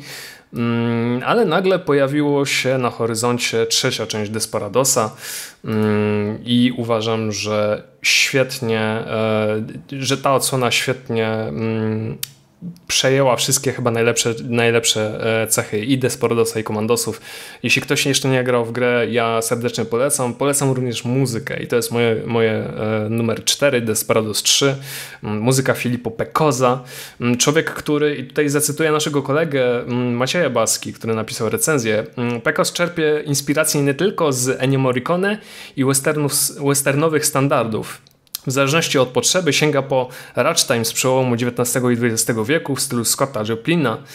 Innym razem puszcza oko do jazzu lat 50., korzysta z pogłosowych gitar rocka lat 70., gdzie niegdzie dosypuje rytmy południowego latino i wszystko skleja ze sobą nowoczesną elektroniką. Recytuje XX wiek w muzyce na wyrywki, z których składa się doskonały klimat i melodie. W kategorii, w kategorii muzyki w grach zaryzykowałbym nawet określenie tego soundtracku małym arcydziełem. I i ja się pod tym mm, kompletnie podpisuję. Wiemy doskonale, że trudno jest odtworzyć klimaty e, gier, e, klimaty westernu w grach. Chyba najlepiej to zrobiło e, Red Dead Redemption 2. Mm, Desperados myślę, że zrobiło to równie mm, dobrze, natomiast jeśli chodzi o muzykę, no to cóż, ja mogę się podpisać pod tym, co, co napisał Maciek Baska. No, gry westernowe nie kończą się na Ennio Morricone, ale też nie kończą się na mm, Filippo Pekozie. Czekamy na kolejne jego mm, dzieła i na kolejne gry w tym klimacie. Numer 4 Desperados 3. Konrad, numer 3. Boże, powiedziałem numer 3, 4, 4, tak. Desperados 3, nie. numer 4. Za dużo tak, tych cyferek. Teraz miejsce, teraz miejsce trzecie. E, u mnie Jeremy Soli Dawn of War 1. E, sama podstawka, bo e, jeżeli chodzi o dodatki, to one po prostu dodawały do tego, co było, natomiast faktycznie jak wyszedł Dawn of War, ten, to pierwsze intro otwierające z epicką sceną, epicką muzyką, zresztą to była chyba pierwsza animacja do gry komputerowej zrobiona przez Studio Blur, albo jedna z pierwszych. E, więc ja, ja, nigdy nie zapomnę tego. Już oni wtedy zaczęli, a jakie rzeczy teraz potrafią robić, no to już wiadomo, oni są legendarni. I właściwie lepsze animacje już tylko robią animatorzy Blizzarda. E, natomiast e, muzycznie to było moje pierwsze starcie chyba z uniwersum Młotka 40. I, i, I, nie wiem tak naprawdę, e, czy, czy, czy e, Jeremy to zaproponował, czy od początku, czy od zawsze tak było, bo tam nigdy w żadnego Fire Warriora nie grałem, e, ani inne te starsze gierki, tam Space Hulka z, jeszcze z czasów dosowych, bo, bo to na pewno by nie brzmiało tak podobnie. Natomiast tutaj faktycznie poziom epickości, ale też ciężaru, niemal, niemalże takiego Rammsteinowego grania orkiestrą, było bardzo, bardzo dużo w, mm, w Dawn of Warze i mimo iż kampania e, dotyczyła tylko i wyłącznie jednej rasy, natomiast multiplayer po, pozwalał pograć sobie pozostałymi dostępnymi, to, to faktycznie muzyka ta była e, też, też dla mnie czymś, czymś bardzo ciekawym, bo dotychczas mi się żadna, e, mi, mi się wcześniej muzyka orkiestrowa nie kojarzyła z takim ciężarem. Bo jednak Władca Pierścieni y, miał wstawki cięższe, głównie motywy Isengardu, y, ale, ale to nie było współmierne z tym ciężarem, który, który 40, w 40 Down of War wprowadził Jeremy Soul. Zresztą późniejsi kompozytorzy też do tego dobudowywali i, i dlatego mamy tak, tak bardzo mocny soundtrack w właściwie każdym Warhammerze, tak? Czy to jest Total War i, i Warhammer Fantasy, czy to jest Warhammer 40 w wykonaniu na przykład kompozytora Cyberpunka i um, sędziego Dreda, czyli Paula Leonarda Morgana, to zawsze, zawsze to jest coś, coś ciekawego, coś, to, coś dla entuzjastów cięższego grania. Świetnie, świetnie, jak najbardziej. Of War poleca mm, Konrad. E, Mariusz. No dobrze, no to. E, jasne. U mnie znowu Blizzard. E, tutaj to jest dodatek do StarCrafta drugiego, a mianowicie to jest chyba ostatni dodatek, to był Legacy of the Void. I no nie, przyznam się szczerze, nie grałem w, samo, w samą grę, tylko sobie tam obejrzałem let's play czy jakieś gameplaye, ale zakochałem się w tej, w tej, w tej muzyce i chyba z tych wszystkich trzech, bo jest jakby ta podstawka i były, były dwa dodatki, e, jeżeli się nie mylę, mm, to Leg Legacy of the Void najbardziej mi utknął w pamięci. Nawet była, pamiętam, że z tego graliśmy muzykę na naszym festiwalu, na pierwszej edycji Game Music Festival, gdzie był koncert w całości poświęcony grom Blizzard, e, Blizzarda i nawet cała suita była poświęcona 15-minutowa e, serii StarCraft. To utkna, utknęło mi kilka takich tematów. No, pokazanie tego, tego takiego wszechświata, kosmosu e, przez e, Jasona Hayesa, Mike'a Patiego, Nila Acri i Glena e, Stanforda, taka stała troszeczkę ferajna tych kompozytorów to utknęło mi najbardziej pamięci ze względu na tą, nawet już nie chodzi o to, czy one były me me melodyczne, ale one nie były aż tak bardzo pompatyczne, one nie były jakieś takie powiedzmy monumentalne, one były troszeczkę przywodzące mi na myśl wcześniejsze dzieła albo późniejsze dzieła Jeremiego Goldsmitha, który komponował muzykę do, do Star Treków, do tych e, filmów pełnometrażowych i zresztą Nila, Nila Cree nie, wach, nie kryje tego, że to jest jeden z chyba z takich kompozytorów, który miał na, na niego największy wpływ, jeżeli chodzi o twórczość. Tak więc ta muzyka troszeczkę mi przywodzi taką twórczość e, Jerego, e, Jerego Goldsmitha.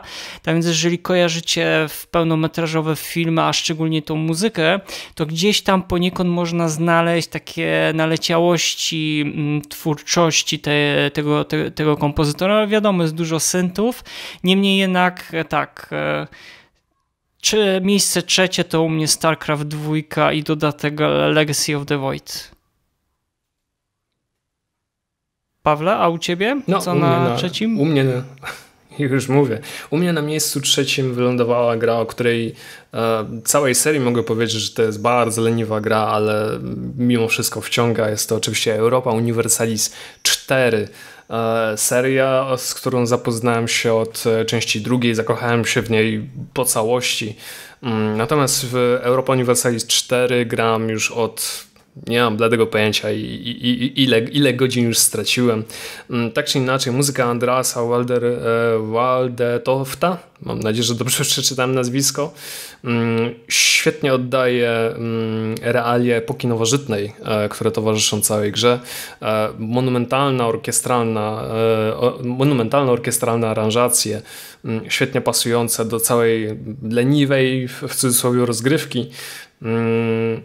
Myślę, że warto, e, tak jak wszystko, wszystko to, co my tutaj polecamy, warte, warto przesłuchania. Idealny soundtrack do słuchania i do planowania kolejnych mm, dróg, e, do kolejnych kroków, jakie podejmujemy po całej e, Europie i staramy się ją, no cóż, podbić po naszemu. Konrad, numer dwa została Europa Universalis, to już trzeba być masochistą naprawdę, żeby w to grać. Że to jest chyba jedna z najdroższych gier, jeżeli chcecie mieć wszystkie dodatki tak. legalnie kupione, to już w tysiące złotych idzie, to jeszcze naprawdę poziom złożoności tej strategii mnie przytłoczył i nigdy nie dałem sobie rady z Europą. Mam czwórkę, próbowałem, nawet polską, bo Polska jest easy i peasy, mm, przegrałem, po prostu przerżnąłem za każdym razem, nie ogarnąłem tego. Ja w dwójce eee... pamiętam, bawiłem się Inkwizycją cały czas. Okej, okay, no wiadomo, jak palić, to palić wszystkich, nie? Eee, czy miejsce drugie, tak? No to tutaj, tu będzie raczej bez zaskoczeń. E, Paul Antony Romero, e, Rob King, Heroes of Might and Magic, trójka. na wset. Właściwie mógłbym to tutaj zostawić, bo chyba przerobiliśmy to w każdą możliwą stronę. Jedyne, czego bym chciał od życia, to e, płyty winylowej z Heroesów trójki, e, żeby ją maltretować, bo udało mi się chyba osiągnąć najwyższy stopień nerdozy, jaki mi się udało uzyskać, jeżeli chodzi o odsłuchiwanie Heroesów, e, trójki, to było granie w Heroesy trójkę podczas próby naszej orkiestry przed e, pierwszym Game Music Festival, jak oni ogrywali cały, cały soundtrack, który był do zagrania na koncercie, ja sobie zmiutowałem wszystko, i, i, i grałem w Heroesy trójkę na audytorium sali Narodowego Forum Muzyki.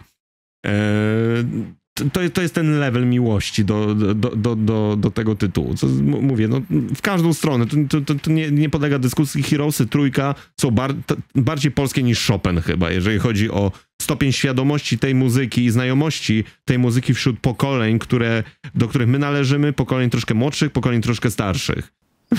Tak, Hiroshi 3 to jest najbardziej polska gra, tak samo jak e, kebab jest najbardziej polskim daniem obecnie. Także chyba tak. pod się mogę podpisać jak najbardziej. Mariusz. A to już nawet Sienkiewicz pisał o kebabach, więc wiesz. Wszystko się zgadzam. Mariusz, numer dwa.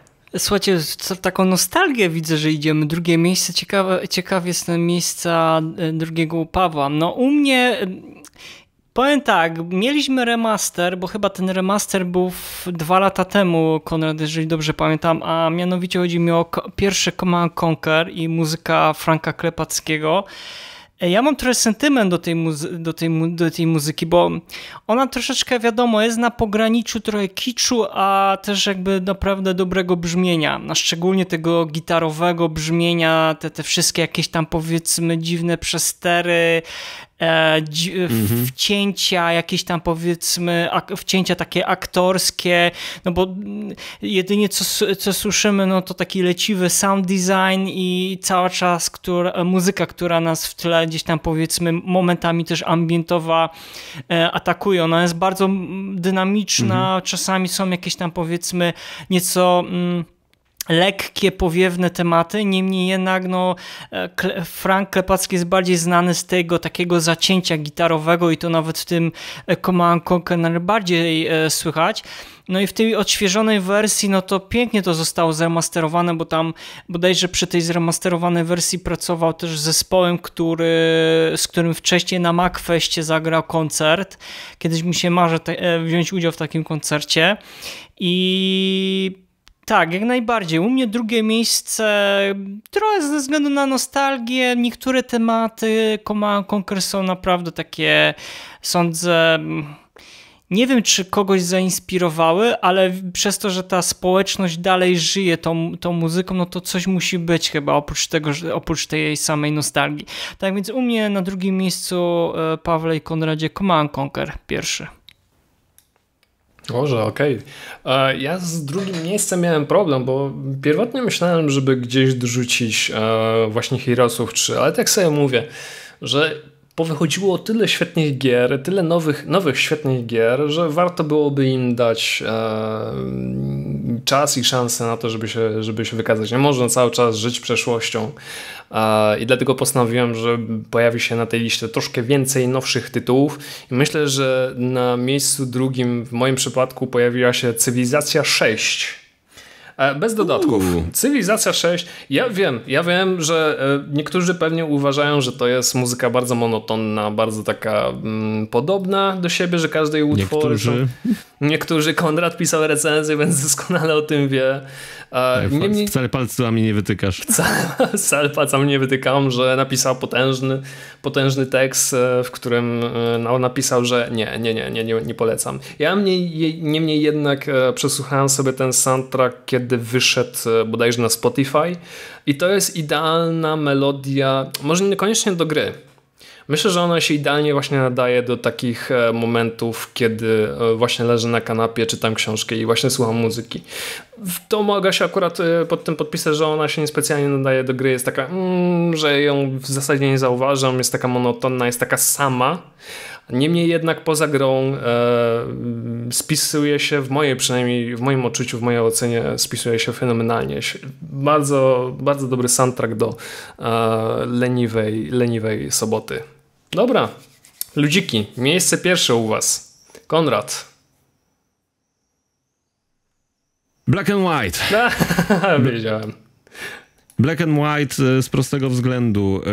E, motyw e, przewodni, pierwsze, pierwsze w ogóle 20 minut rozgrywki, ale, ale motyw przewodni, który, który jest podany przy narodzinach Boga jest, jest, jest właściwie wszystkim. To, według, to, to, to jest naprawdę soundtrack, który po pierwsze rozwalił mi czaszkę, kiedy go po raz pierwszy usłyszałem i rozwala mi ją do dzisiaj, kiedy, kiedy, kiedy go słucham i, i, i, i wsłuchuję się w to, z jakich elementów był składany ten soundtrack. Naprawdę kompozytor, którego pamiętam tylko imię, Sean, natomiast nazwiska zapominam, to, to jest mój e, prywatny, prywatny guru, jeżeli chodzi o mieszanie e, wszystkich możliwych instrumentów do kupy i jeszcze, żeby z tego wyszło coś, coś e, smacznego. Nie tylko strawnego, ale absolutnie przepysznego. To jest tak, tak jak bigos, nie? Że bigos to jest właściwie wszystko, co się dało i jakimś sposobem po trzech dniach leżenia w garnku to jest przepyszne. I, i, i dokładnie mam takie samo wrażenie z jego muzyką, pomieszanie elektroniki w przedziwny sposób przerabianych e, instrumentów organicznych, jakichś, jakichś fletów, nie fletów, gitar, syntów, e, tremola kładzione na to wszystko. Ty, ty, ty, wydaje się, że tysiące efektów. Tak naprawdę gra powstawała w którym? Wyszła w 2001 roku, o ile dobrze pamiętam, czyli wtedy co Władca Pierścieni i to była jedna z, e, z nielicznych w pełni trójwymiarowych gier, E, wideo wówczas. I, I dobra, już palicho to, czy ona robiła wrażenie, czy nie robiła wrażenie, czy się ładnie zestarzała, czy nie. Zestarzała się na tyle, że fani robią do dzisiaj patche do tej gry i można grać w nią na monitorach 16 na 9 e, w pełnym HD e, rozdzielczości. Co prawda tekstury zostały podreperowane dopiero przy dwójce, ale w jedynce co ta muzyka robiła, to robiła co, co, coś absolutnie unikalnego. Robiła doświadczenie człowiekowi, który, który słuchał tej muzyki. E, czułeś e, się larger than life. Bo skoro jest to symulator Boga, to muzyka powinna to w jakiś sposób odzwierciedlać. I to nie było odzwierciedlane tanimi sztuczkami, typu dobra, walniemy największą możliwą orkiestrę, jaką możemy. E, zważywszy, że Lionhead był wtedy wydawany przez... E, Electronic Arts EA, chyba, no. dopiero, tak, dopiero później, później była fuzja z e, Microsoftem, więc EA było stać na to, żeby sypnąć im tyle hajsu, ile by potrzebowali. Przecież oni jeszcze Fable'a robili wcześniej czy później, już nie pamiętam, chyba później.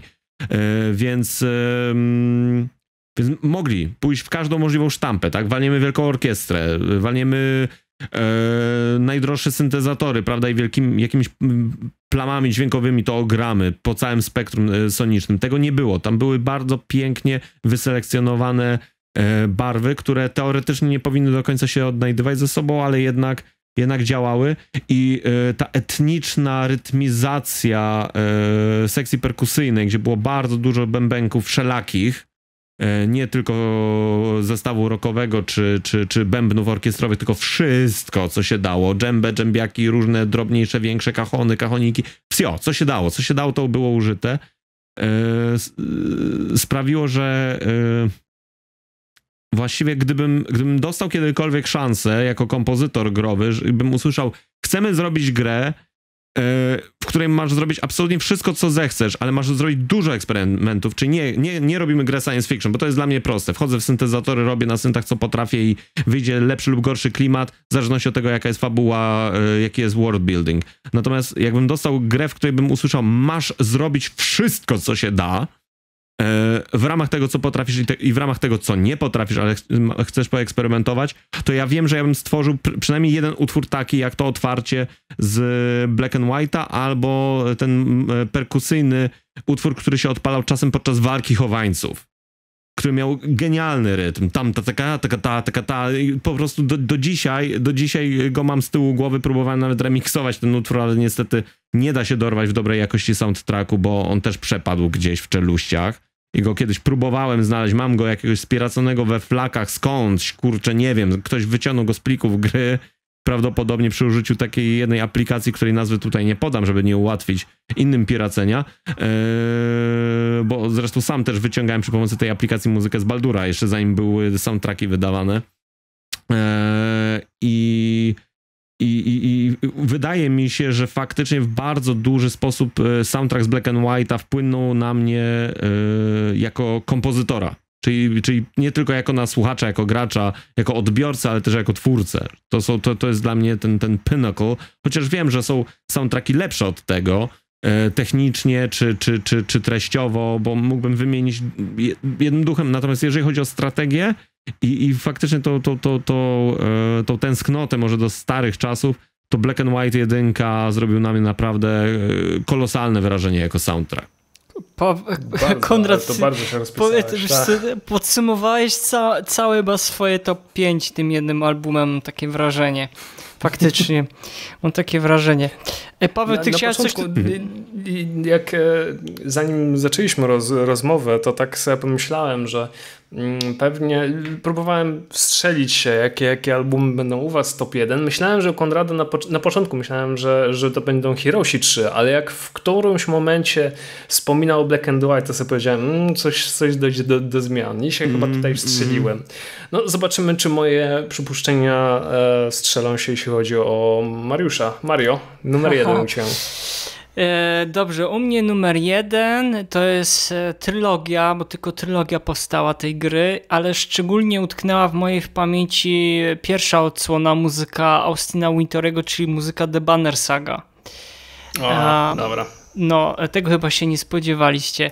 Dlaczego? Tego się nie spodziewałem, to akurat Powiem przyznaję. tak, e, mieliśmy, mieliśmy Wiedźmina, gdzie tam był też ten cały ten etap, gdzie e, powiedzmy tam są te klimaty Skandynawiów, e, też jest Pera Kyda z Sarą Szachnar i też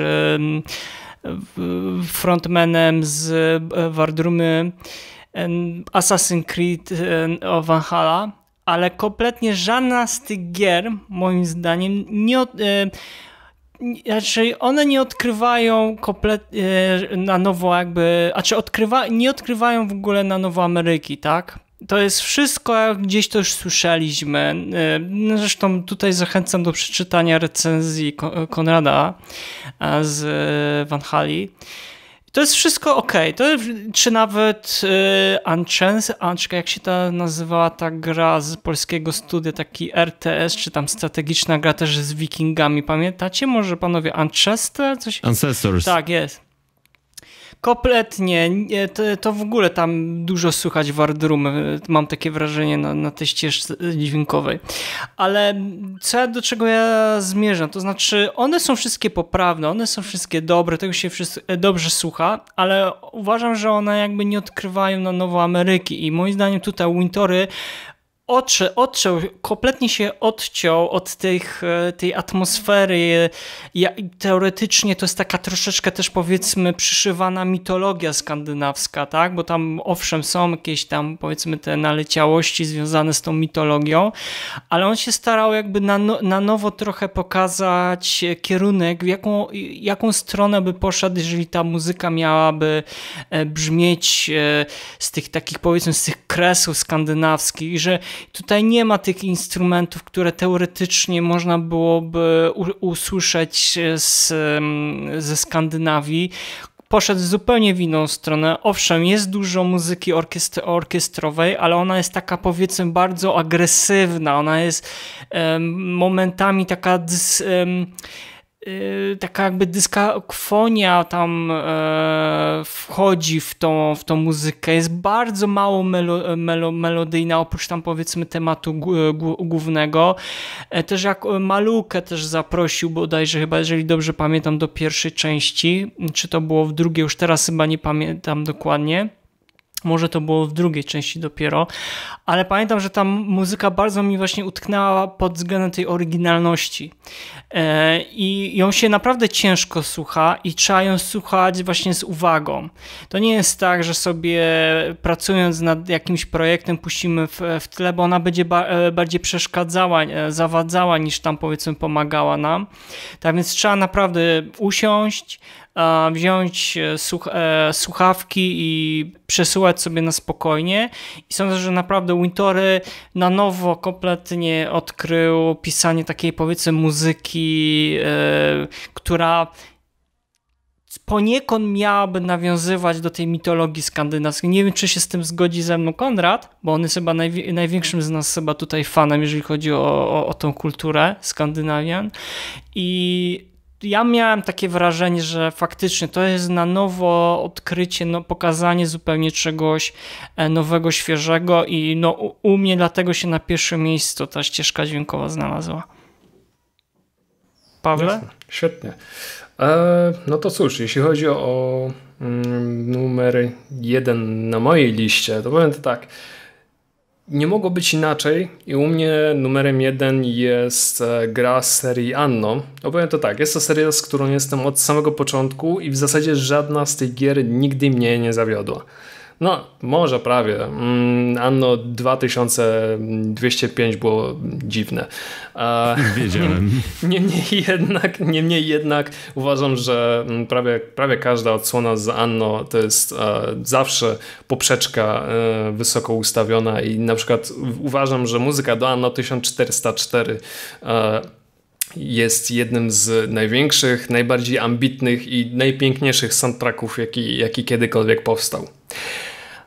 Ale później przychodzi Anno 1800, który zmiata wszystko z planszy. Nie tylko ta gra jest prześliczna, ale również e, brzmi e, niesamowicie. Ja tutaj zacytuję mm, kawałek tylko recenzji naszego kolegi Marka Domagały, który, mm, któremu soundtrack się nie podobał, ale tylko jeden malutki fragmencik jest e, mm, warty zacytowania do tego, co, co, co chcę powiedzieć. Mianowicie, mając okazję tchnąć życie w XIX-wieczny świat, e, Dynamedion prezentuje orkiestrową suite jednocześnie epicką i intymną, pełną jasnych analogii do fabuły gry. Usłyszymy niesprawiedliwość, wszechobecną przedsiębiorczość, pionierstwo i odkrywanie nowego świata. Wszystkie drobne niuanse co do fabuły i umiejscowienia gry zostały w albumie zawarte. Jeśli mogę pod tym podpisać, mogę powiedzieć nawet więcej. Nie ma na tym albumie takiego, e, takiej melodii, takiego utworu, który pojawił się tam przez przypadek. Wszystkie świetnie e, oddają ten XIX-wieczny e, urok. No tak mógłbym powiedzieć, e, że trochę w tym anglicyzmu jest. Kojarzy mi się te klimaty rodem z książek Artura Conana Doyle'a o Sherlocku Holmesie. Może to też przeważyło na tym, że uważam, że to jest jeden z najfajniejszych, najlepszych, naj, najlepiej brzmiących soundtracków, na jaki natrafiłem. Tak mi się ten album spodobał, że mm, słucham prawie że na okrągło e, muzyki nie tylko mm, w serwisach streamingowych, ale również na płycie winylowej. Myślę, że to jest świetny soundtrack, świetny album e, właśnie do puszczenia na luźniejsze dni, luźniejsze e, nawet poranki ale także e, fantastyczny zestaw e, melodii, który idealnie pasuje do samej gry. Nigdy się nie zdarzyła się chyba taka sytuacja, a gram w Anno 1800 już od długiego czasu. E, co jakiś czas wracam do tego tytułu i nie zdarzyło mi się, żeby ten soundtrack mnie znużył, czy w ogóle nie zwróciłem uwagi na jego, jego istnienie. Nie, ten soundtrack żyje, ten soundtrack istnieje i on w pełni oddaje to, co się dzieje mm, na ekranie. Myślę, że mm, ekipa niejednokrotnie nas jeszcze zaskoczy przy, przy okazji kolejnych mm, tytułów, ale na tę chwilę Anno 1800 uważam za e, wyżyny wyżynów e, nie tylko studia, ale również autorów soundtracku. Moi drodzy, e, uszukaliśmy naszych słuchaczy. Patrzę na zegarek, niestety minęło półtorej godziny, a nie godzina. Nie udało się, znowu się nie udało. No ale tak jest, jak mamy e, fajny temat i się rozgadamy. Czekaj, może się przytnie. nie, może się przytnie. Ale nie uda się. Temat tematem, ale, jakich, ale jakich mam, jakiego mamy doborowego gościa. Konradzie, ja zawsze to mówię, powinieneś częściej nas odwiedzać, bo naprawdę masz tyle fajnych, e, tyle dużo ciekawych rzeczy do powiedzenia na temat muzyki. Oj, swoich... bo, się, bo się poczuję jak Henry Cavill na Witcherconie. Eee, I tak miało być, tak miało być. No nie jesteś taki ładny, Kon, no przekronam. No. E, no wiesz co, jak no, możesz tak ten Konradowi... Dopakowany. Niedługo. Słuchajcie, jeszcze raz, was, jeszcze raz Wam serdecznie e, dziękuję, Konrad. My się widzimy następną razą, bo kolejny temat będzie również ciekawy, ekscytujący i idę o zakład, że nie zamkniemy się w godzinę. Nie ma takiej opcji. Oj, nie, ma takiej się zważywszy, że podczas naszej rozmowy kupiłem na winylu soundtrack z Quake'a. super, super. O tym, o tym, o tym, o tym kiedy indziej. Tak jak mówię, Konrad, dzięki jeszcze raz, że byłeś. E, słuchajcie, kończymy na dziś. E, będziemy się słyszeć w następnym odcinku, a ja dziękuję Wam za dzisiejszą obecność. A dziękuję Konradowi Belina Brzozowski. Dzięki, dzięki. E, Mariuszowi, Mariuszowi Borkowskiemu. Dzięki wam za to, że słuchacie nas, subskrybujecie i komentujecie. Dislajki, lajki przyjmiemy bardzo, e, bardzo gorąco, serdecznie. Jak zawsze z wirtualnego studia kłania się w pas Mariusz Borkowski. No i to był 23 odcinek podcastu Słuchaj Gier, oficjalnego podcastu e, portalu GameMusic.pl i żegnam się z wami mm, ja, Paweł Dębowski. Do zobaczenia, do usłyszenia. Trzymajcie się. Słuchaj. Słuchaj. Słuchaj. Słuchaj. Słuchaj. Słuchaj. Słuchaj. Słuchaj. Gier. Podcast sławiący kulturę muzyki do gier wideo.